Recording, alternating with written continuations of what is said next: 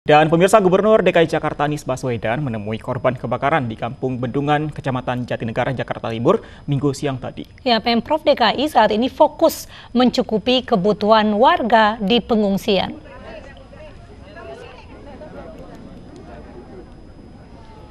Gubernur DKI Jakarta Anies Baswedan tiba di Kampung Bendungan, Jatinegara, Jakarta untuk meninjau lokasi terjadinya kebakaran yang melahap 129 rumah warga.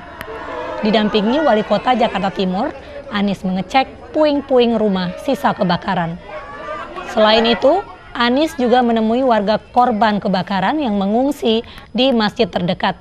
Dalam kunjungannya, Anies mengatakan Pemprov DKI Jakarta sedang fokus membersihkan puing-puing rumah untuk menghindari adanya zat berbahaya.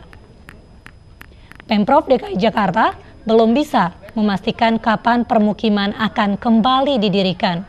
Pemprov saat ini berupaya mencukupi kebutuhan warga di pengungsian seperti makanan, pakaian, posko kesehatan, dan juga berbagai kebutuhan lainnya.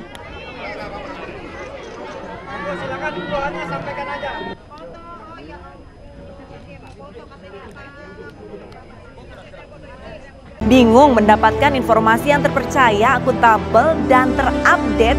Jangan ragu-ragu, like, subscribe, dan komen akun-akun sosial media Ais di bawah ini ya.